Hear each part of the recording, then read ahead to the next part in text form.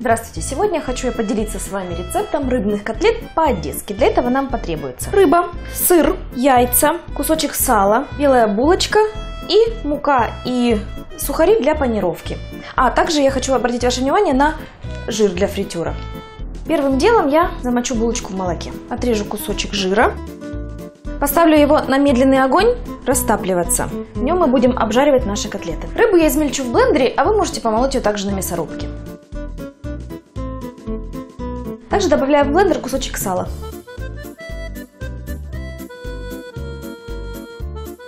И размоченную булочку.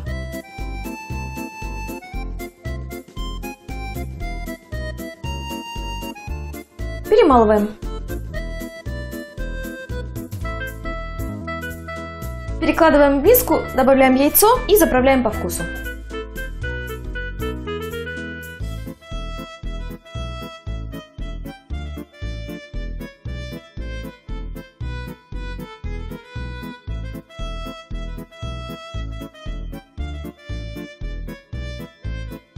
И перемешиваем.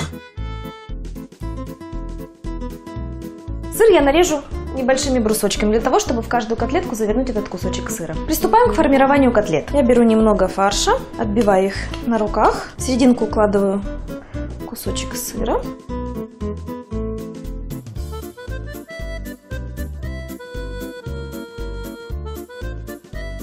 И панирую сначала в муке, потом в яйце, затем опять в муке, снова яйцо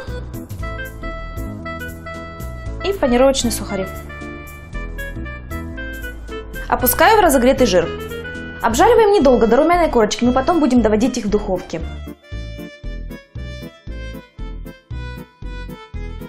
Выкладываем котлетки на кухонное полотенце, чтобы убрать лишний жир.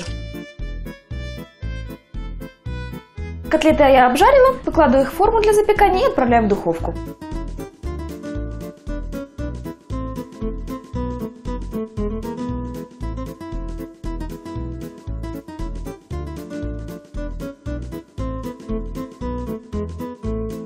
Какая у нас получилась красота! Подавайте котлетки с лучком, с помидорками. Приятного